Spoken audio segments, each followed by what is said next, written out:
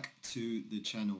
So today I want to talk about what the things you need in order to run a successful football academy center. So what I mean by academy center is pretty much a location where you train all your clients out of. Okay. Now, currently the role I have at the company I work for, which is Pro Football Academy, is I'm academy manager of four different centers across one region. So if you have a business and you're looking to, to grow and scale to the next level, right, you might be thinking about opening different centers across the country. So if you're in the UK, if you're in the US, right, you might be thinking of expanding your business into another region, okay, to, to grow your brand and to try and attract more more clients from a specific area. So our company, uh, Pro Football Academy, we're currently at about 75 plus centers all across the United Kingdom. Uh, the goal at the end of the year is to get to 100. Uh, I have also my own business that, that I do, which I've got one center that I'm currently running. So I've got a lot of experience in in starting, and, and growing centers across the country. Okay, from work, from my experience working within Pro Football Academy to also starting my own business and growing and scaling what I'm currently doing as well. So I get asked a lot, a lot of questions every single day from coaches who write me in to say, how can I start a center in this city? How can I expand into this area? Uh, what are the three things I need in order to grow and scale the, the current center that I have. Okay, so wanted to come on here make this video because it will help you.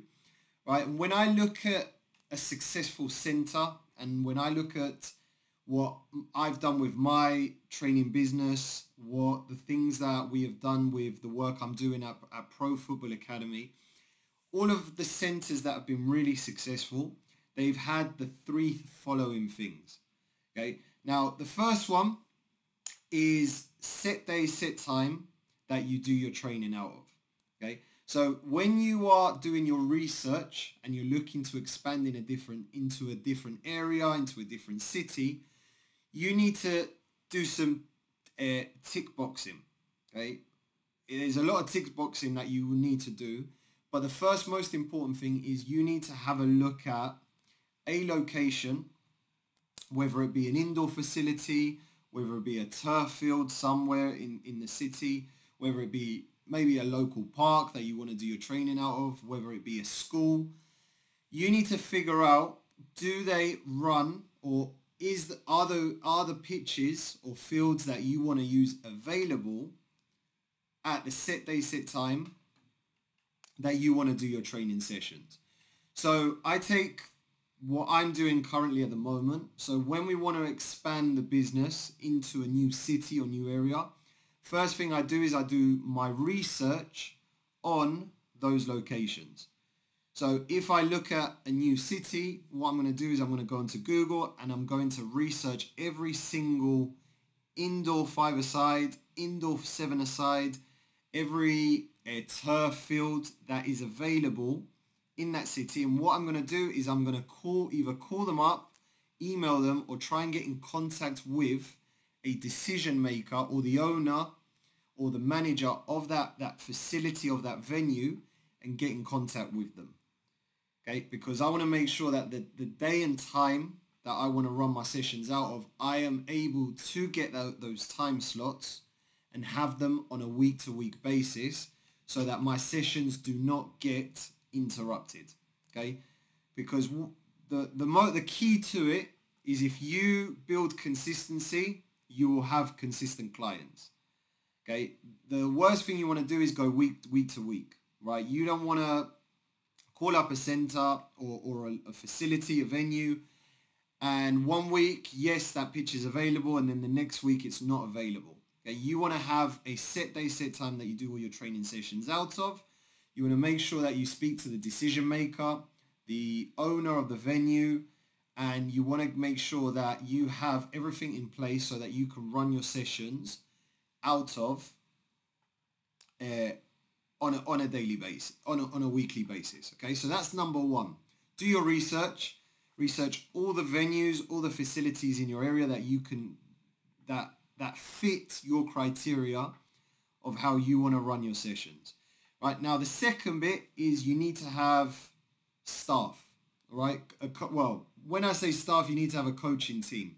Now, if it's just yourself doing the sessions, then you you need to make sure that the set day, set time that you have made available for those time slots, right, you can commit to. There's a lot of coaches that want to just do random sessions here and there, and then they realize, you know what, I've I don't have time to run these sessions. Okay, so you want to make sure that the set day, set times that you have available, you are available to actually coach and run those training sessions.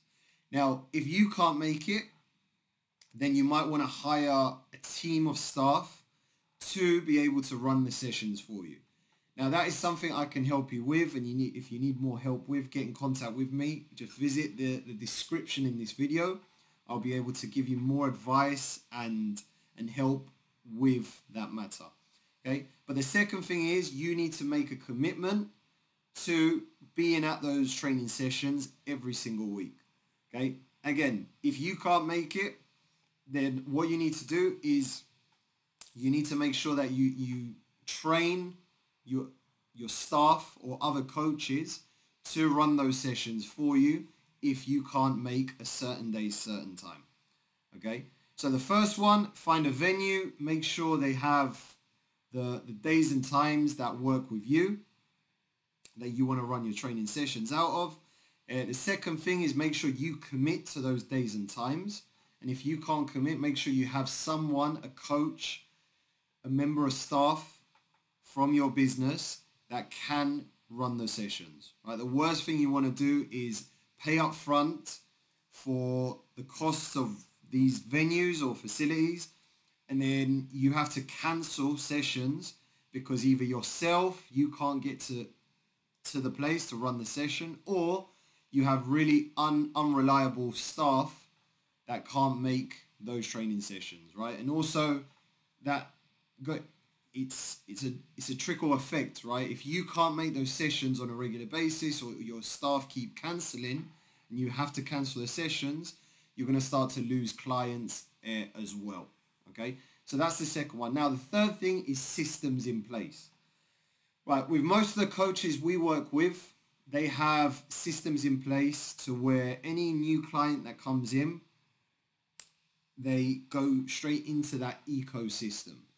So by systems, I mean, right, when a parent applies for your program, for your soccer academy, what is the onboarding process that you take them through?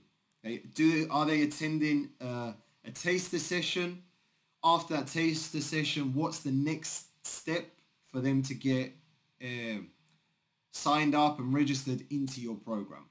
Okay, so you need to have a, a system in place where you either have a website where traffic is coming into your into your website and from that website right parents are registering their interest to train at your your academy from there how do we then move that that lead into a taster session where they come try your training and then how do we then enroll them into the into the uh, program. So you need to have systems in place, which means you need to have parents on uh, recurring billing. You need to have parents on contracts with you that they sign and they agree to your terms and conditions. And also you need to have systems in place where parents okay, are getting up-to-date information on what is going on within your, your company. Okay, so that might be an email Okay, email marketing that, that goes out maybe once every two weeks or once a week where you can give parents information on, on the updates from, uh, you know, the updates, what's going on in, in your program. Maybe you're looking to expand the business into another city and you've gathered a lot of, um, of emails. You can then blast emails out and market to parents in specific uh, areas or different markets. Okay. Not only that, also you need a, a community as well where parents can stay up to date or parents can ask you questions about training, right? What you don't want as a business owner is you don't want parents to personally text and call you all the time.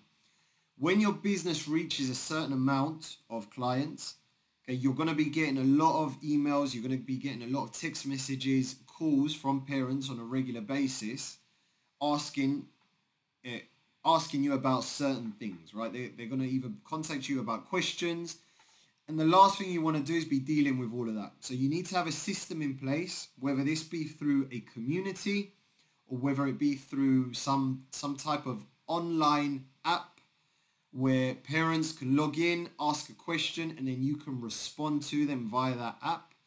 Right? It needs to be some form of communication where parents can ask questions and get feedback from you about upcoming clinics, upcoming training days, or if you have to cancel any any training sessions that, that are about to, to happen.